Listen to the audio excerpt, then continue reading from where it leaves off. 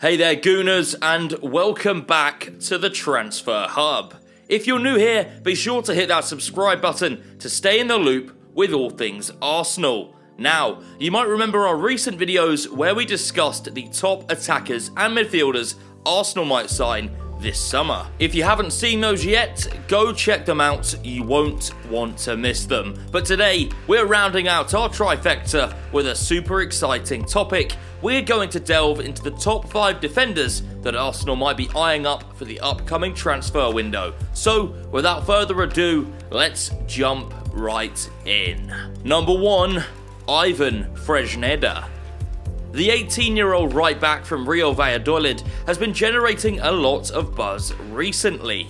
Arsenal are among the clubs that have shown interest in Fresneda, and the club had explored a deal for him in January. The young Spaniard has been praised for his remarkable performances, although his youth does show in some inconsistencies. It's clear that his potential has caught the attention of major clubs, with Barcelona and Real Madrid also reportedly interested in securing his services. Arsenal's interest in Fresneda is part of their broader strategy to strengthen their defence, but they'll face stiff competition for his signature. Next up, Edmond Tapsoba.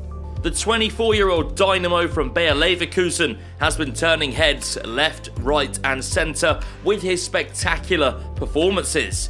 Now, here's the kicker Arsenal aren't the only North London club that's caught the Tapsoba fever. Yep, you guessed it, Tottenham are also in the running, and boy, is this race heating up. Some folks are even dubbing him the next Jerome Boateng, which gives you an idea of the high praise this lad is receiving but Bayer Leverkusen aren't going to let their star go without a fight. Transfermarkt currently values him at around £26 million, but Fabrizio Romano recently reported that a bid of around £61 million was required to reach a deal.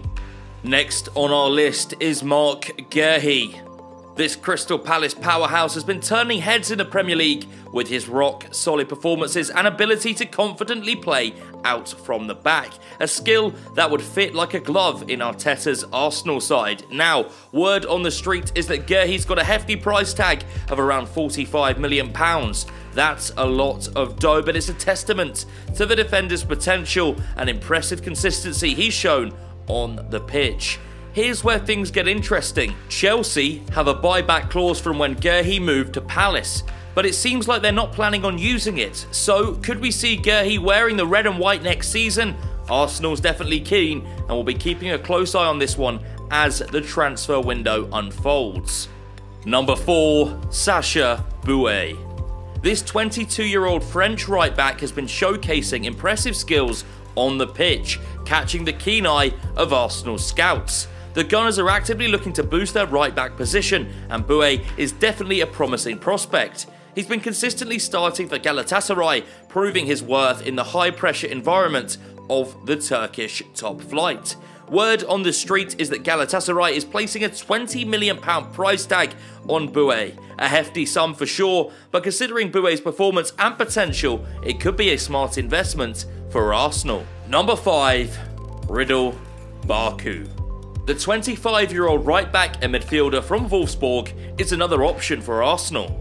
Baku's attacking abilities are influenced by his youth football days as a winger, but he is also secure defensively. He ranks in the top 10% of fullbacks for goals, non penalty XG, shots on target, and blocks, and in the top 25% for expected assists, passes into the final third, and progressive passes per 90 minutes played. Baku has a record of 17 goals and 18 assists in nearly 150 Bundesliga appearances, and he is a fully capped German international. It is thought that a fee between 10 million and 15 million pounds would be sufficient to secure him from Wolfsburg. Number 6. Evan Ndicka. The left-footed centre-back from Eintracht Frankfurt is another potential acquisition. Ndicka, who can also play as a left-back, is out of contract this summer in Germany. He stands at 6 foot 2 and is known for his one-on-one duels. He has been almost ever present for Eintracht in the last two years and he stands out as one of the best defenders in the Bundesliga. According to FBref data, Ndicka ranks in the top 20% of centre backs for blocks, passes cut out, clearances, and ball recoveries. He can cover ground quickly, making him comfortable in a high line, a feature that Arsenal have struggled with in Saliba's absence. He is also a decent ball progressor, Ndicka's versatility, speed, and the fact that he's available on a free transfer makes him a compelling option. Last but not least, Joao Cancelo. Rumours are circulating that Arsenal and Manchester City are in talks over a potential player exchange involving Kieran Tierney and Joao Cancelo this summer. The possibility of the moves comes as Arsenal manager is reportedly a fan of Cancelo, while Man City boss Pep Guardiola has shown interest in Tierney.